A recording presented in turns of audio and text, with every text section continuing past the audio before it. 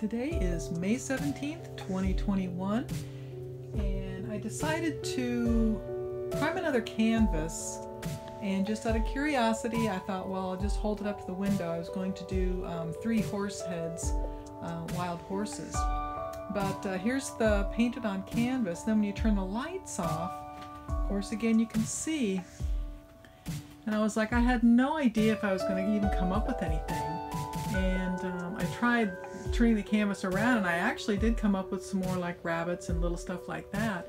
But in this one, it, it's not maybe quite as um, obvious, but you can see over on this side, I mean, it's a big horse head that comes down and then his nose comes down here into the grass.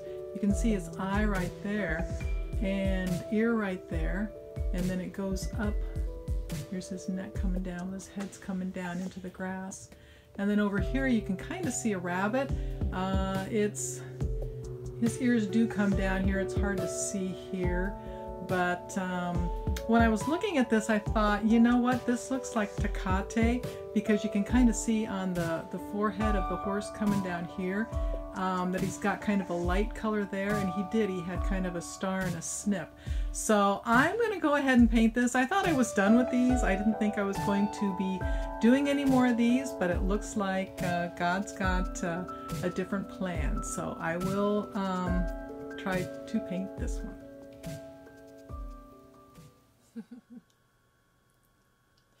Well, hi everybody. Thanks for joining me. This is my number five painting on the ones where I've painted it um, just randomly with a primer and then the images show up. This is number three in the series um, with the wild horses.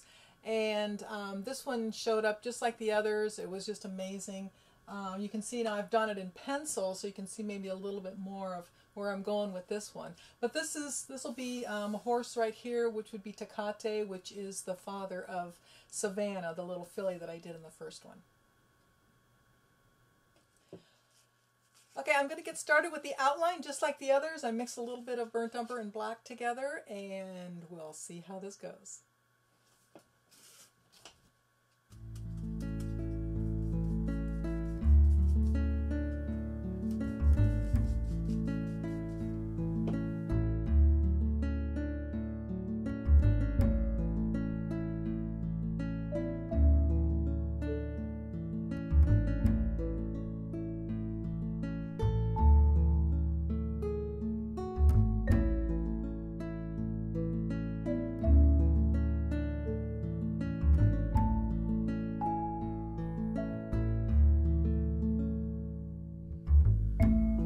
Okay, as you can see, I've got all the outline on. You can see hopefully a little more outline of the horse. Um, got a rock down here, then there's a rabbit. You can see him right there.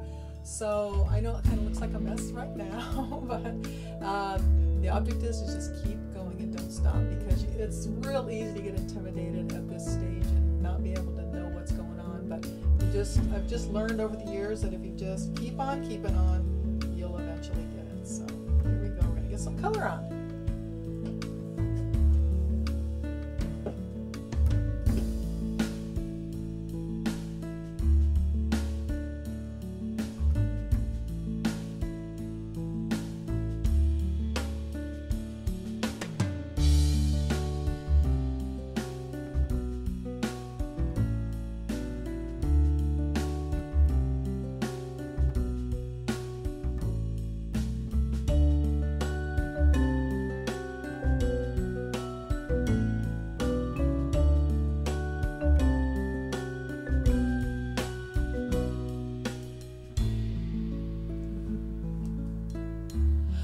You can see how much um, color I've gotten on. Uh, got real busy, just kept working at it, um, getting the green on for the grass.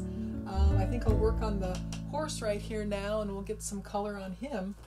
And I know this horse had a really pretty flaxen mane and tail, so we're going to put that on there. I'm going to give him a, a lighter color here.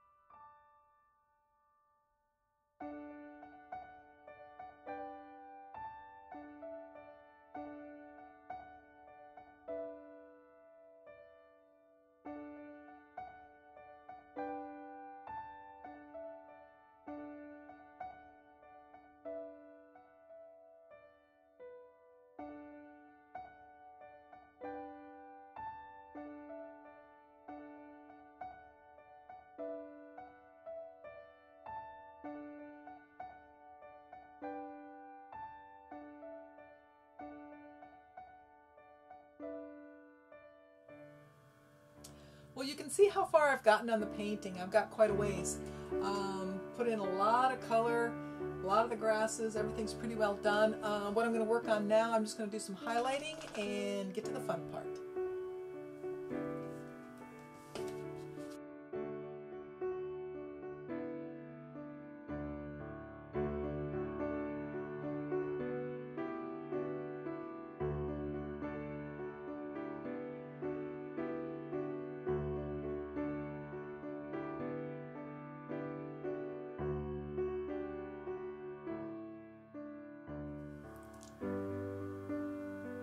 Alright, you can see I got quite a bit done on the painting. I worked really hard yesterday. Uh, I may add some more, you know, highlights maybe over here, maybe a little bit on the horse, but I mean, pretty much done, pretty much where uh, everything that's uh, going to be there is there. So I just wanted to say thank you for watching my videos and following along with me as I do my paintings.